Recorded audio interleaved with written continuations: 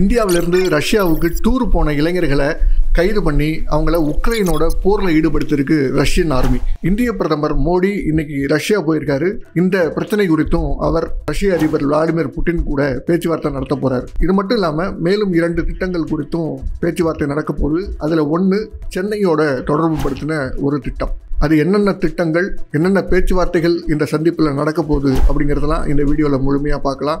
இது AK politics நான் அகிலன் கார்த்திகேயன்.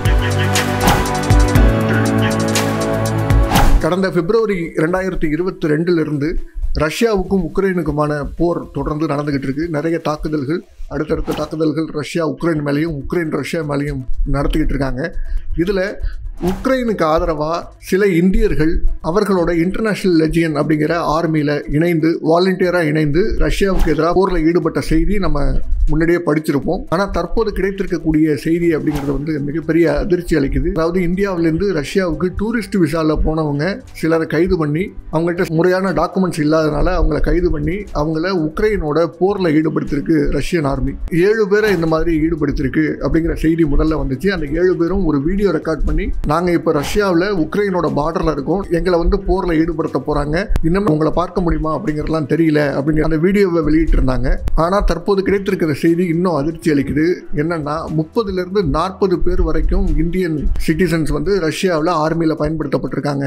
அதுவும் சென்னையிலிருந்து கேரளாவிலிருந்து அந்த இளைஞர்கள் வந்து ரஷ்யாவுக்கு அனுப்பப்பட்டிருக்காங்க. அதுவும் எப்படி சொல்லி அனுப்பப்பட்டிருக்காங்கன்னா உங்களுக்கு நல்ல எஜுகேஷன் கிடைக்கும்.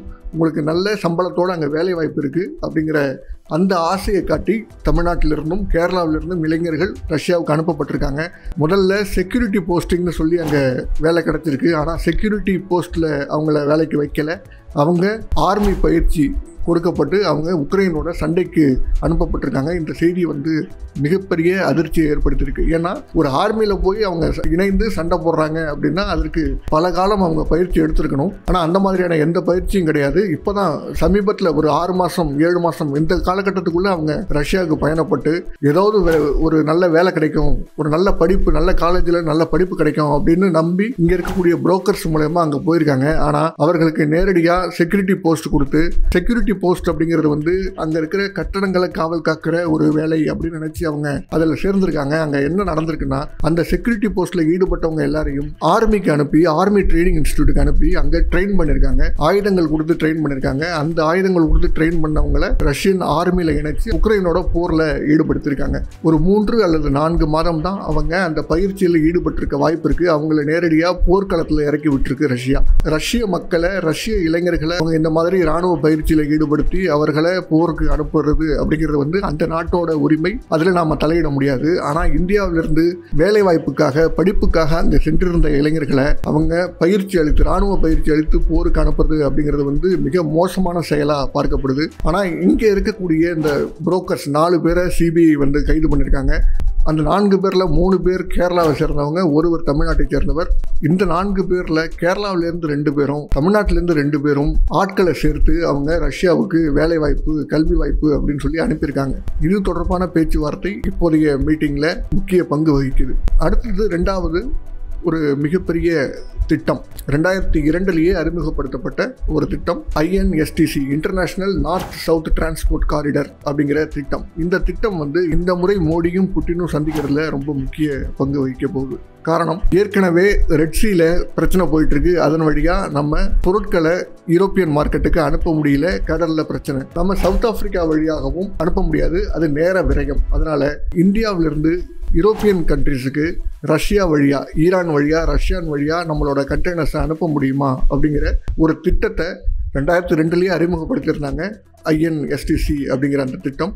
அது கொஞ்சம் கொஞ்சமாக நடைமுறைக்கு வந்துகிட்டு இருக்கு. மும்பையிலிருந்து ஈரானில் இருக்கக்கூடிய பந்தர் அபாஸ் அப்படிங்கிற துறைமுகம் அந்த பந்தர் அபாஸ் அப்படிங்கிற துறைமுகத்திலிருந்து ஈரானோட தலைநகரம் தெஹ்ரான். தெஹ்ரான்லேருந்து அசர்பைஜான் தலைநகரம் பாக்கு. பாக்குவிலிருந்து தெற்கு ரஷ்ய பகுதியில் ஒரு முக்கியமான நகரமான அஸ்தர்கான் அப்படிங்கிற அந்த நகரம். அந்த அஸ்தர்கான் அப்படிங்கிற நகரத்திலிருந்து மாஸ்கோ. இந்த வழியில் மல்டி மோடு நெட்வொர்க் அமைக்க போகிறாங்க மல்டி மோட் நெட்ஒர்க்னா மும்பையிலிருந்து ஈரான் பந்தர் அப்பாஸ் அப்படிங்கிற அந்த பகுதிக்கு கடல் வழியாகவும் பந்தர் அப்பாஸ்லிருந்து பாகு அஸ்தர்கான் மாஸ்கோ இதுக்கு ரயில்வே அல்லது ரோட் டிரான்ஸ்போர்ட் வழியாகவும் சரக்குகளை அனுப்புவதற்கான வழித்தடத்தையும் ஏற்படுத்துறதுக்கு ரெண்டாயிரத்தி ரெண்டுலேயே ஒரு அக்ரிமெண்ட் போட்டாங்க.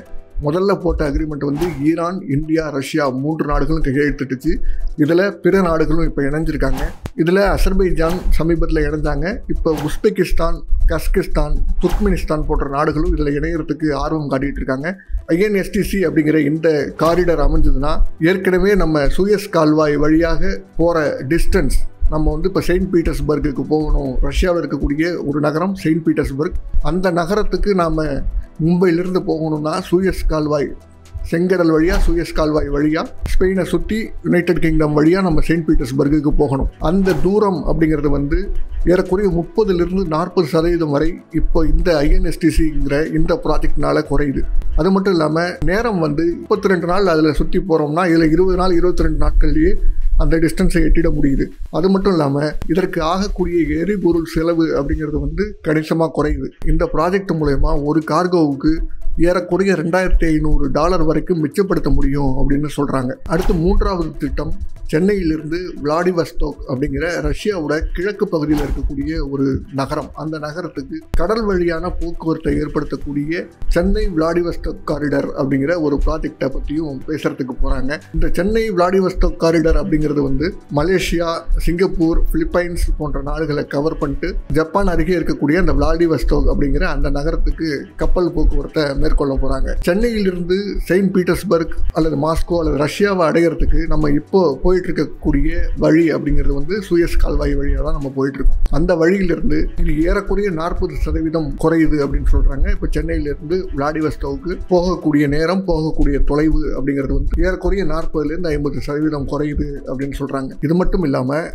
ரஷ்யாவோட நார்த் சி காரிடர் அப்படிங்கிற ஒரு திட்டம் இதில் மாமான்ஸ்க் அப்படிங்கிற ஒரு நகரம் இருக்குது ரஷ்யாவில் மாஸ்கோவிலிருந்து இரண்டாயிரம் கிலோமீட்டர் வடக்கு இருக்கக்கூடிய ஒரு நகரம் மிக முக்கியமான ஒரு துறைமுகம் அமைந்திருக்கக்கூடிய நகரம். கடந்த இரண்டாயிரத்தி இருபத்தி மூணாம் ஆண்டில் மட்டும் அந்த துறைமுகத்திலிருந்து ஏறக்குறைய எட்டு மில்லியன் டன் கார்கோஸ் வந்து வெளியாகியிருக்கு. அந்த கார்கோஸில் ஏறக்குறைய முப்பத்தி ஐந்து சதவீதம் கார்கோஸ் வந்து இந்தியாவுக்கு வந்திருக்கு. இது வந்த பாதை அப்படின்னு பார்த்தோம்னா எல்லாமே வந்து சூயஸ் கால்வாய் வழியாக தான் வந்திருக்கு. ஆனால் இப்போ இவங்க முன்வைக்கக்கூடிய ப்ரொபோசல் அப்படிங்கிறது வந்து நார்த் சி காரிடர் அப்படிங்கிற திட்டம். நார்த் சி காரிடர்னா ரஷ்யாவோட வடக்கு கடல் பகுதிகளில் அதாவது ஆர்டிக் பெருங்கடல் இருக்கக்கூடிய அந்த பகுதியின் வழியாக ஜப்பான் வழியா விளாடிவஸ்டோவுக்கு வந்துட்டு விளாடிவஸ்டோலேருந்து சென்னைக்கு வரக்கூடிய இந்த கடல் வழியை அவங்க இப்போ ப்ரொபோஸ் பண்ணுறாங்க இதனால மாமன்ஸ்க் அப்படிங்கிற அந்த ரஷ்ய நகரத்திலிருந்து ஏற்கனவே சூயஸ் கால்வாய் வழியாக வந்துகிட்டு இருந்த கப்பல்கள் பதிமூணாயிரம் நாட்டிக்கல் மைலை கடக்கணும். ஜப்பான் நகரமான யோகஹாமா அப்படிங்கிற அந்த இடத்த அடையிறதுக்கு. ஆனால் இந்த என்எஸ்சி அப்படிங்கிற இந்த ப்ராஜெக்ட் வழியாக நார்த் சி காரிடர் வழியாக இது வந்துச்சுன்னா இந்த கப்பல் வந்துச்சுன்னா யோகஹாமா அப்படிங்கிற அந்த சிட்டியை அடையிறதுக்கு வெறும் ஆறாயிரம் நாட்டுகள் மையில் கடந்தாலே போதும். ஏறக்குறைய பாதிக்கும் மிக குறைவான டிஸ்டன்ஸ்லேயே அந்த தூரத்தை கடக்க முடியும் அந்த நகரத்தை அடைய முடியும் அப்படிங்கிற இந்த ப்ராஜெக்ட் வந்து ரொம்ப முக்கியமான ப்ராஜெக்டாக பார்க்கப்படுது. காரணம் இப்போ சுயஸ் கால்வாய் வழியாக வர வேண்டும்னா பல நாடுகளை அது கடந்து வரணும். ரஷ்யா மேலே தொடர்ந்து பொருளாதார தடைகளை விதிச்சிட்டு இருக்கக்கூடிய நாடுகளும் அந்த பகுதியில் இருக்குது ஐரோப்பிய நாடுகள். அதனால் ரஷ்யா தன்னோட முழு கண்ட்ரோலையும் இந்த நார்த் சீ காரிடரில் கொடுக்க முடியும் அப்படிங்கிறதுனால இந்த நார்த் சீ காரிடர் அப்படிங்கிற அந்த ப்ரொப்போசலை இந்தியாவோட முன்வைக்குது. இந்தியாவோட பல ஷிப் பில்டிங் கம்பெனிஸ் அதாவது கப்பல்களை தயாரிக்கக்கூடிய நிறுவனங்கள் இந்த நார்த் சி காரிடரில் தங்களோட நிறுவனங்களை அமைச்சிக்கலாம் அப்படிங்கிற பிஸ்னஸ் டீல்ஸையும் பேசுறதுக்கு இந்த மோடியோட பயணம் அமையும் அப்படின்னு எதிர்பார்க்கப்படுது. இந்த நார்த் சி காரிடர் அப்படிங்கிறது வழியாக கடந்த இரண்டாயிரத்தி பன்னெண்டுலேருந்து போக்குவரத்து நடந்துகிட்டு இருக்கு. இதில் கடந்த இரண்டாயிரத்தி பன்னெண்டில் மூணு மில்லியன் டன் கார்கோஸ் வந்து நார்த் சி காரிடர் வழியாக ஜப்பானையோ அல்லது சைனாவையோ அல்லது பிற தெற்காசிய நாடுகளையோ அடைஞ்சிருக்கு. ஆனால் கடந்த இரண்டாயிரத்தி இருபத்தி ரெண்டில் இதன் வழியாக பயணப்பட்ட கப்பல்களோட எண்ணிக்கை அதிகரிச்சிருக்கு. இதன் வழியாக எடுத்து செல்லப்பட்ட கண்டெய்னர்ஸோட எண்ணிக்கை அதிகரிச்சிருக்கு. இதன் வழியாக எடுத்து செல்லப்பட்ட சரக்குகளோட அளவு அப்படின்னு பார்த்தோம்னா முப்பத்தி நான்கு மில்லியன் டன்ஸ் அந்த அளவுக்கு ரொம்ப பொருளாதாரம் முக்கியம் வாய்ந்த ஒரு காரிடரா இந்த நார்த் சி காரிடர் இருக்க போகுது எதிர்காலத்தில். இது ஏற்கனவே இருக்கக்கூடிய சூயஸ் கால்வாய் அப்படிங்கிற அந்த திட்டத்துக்கு போட்டியாக இது அமையும். ஒரு பக்கம் ரஷ்யா இந்த என்எஸ்சி அப்படிங்கிற அந்த காரிடரை பில்டு பண்ணுது. இந்தியாவும் அதில் போய் இணைஞ்சிக்குது. அதே மாதிரி இந்த பக்கம் ஐஎன்எஸ்டிசி அப்படிங்கிற அந்த காரிடர் ரோடு வழியாகவும் மல்டி மோடு காரிடர் அமைக்கிறாங்க. அதுவும் இந்த நார்த் காரிடர் அப்படிங்கிற இந்த திட்டமும் ரொம்ப முக்கியமான பங்கை எதிர்காலத்தில் வகிக்கும்னு கணிக்கப்படுது. இது இந்த சூயஸ் கால்வாய் வழியாக வர வரக்கூடிய கப்பல்களோட எண்ணிக்கையை குறைக்கும். அங்கே சுற்றி இருக்கக்கூடிய நாடுகளோட பொருளாதாரத்தில் பாதிப்பை ஏற்படுத்தும்.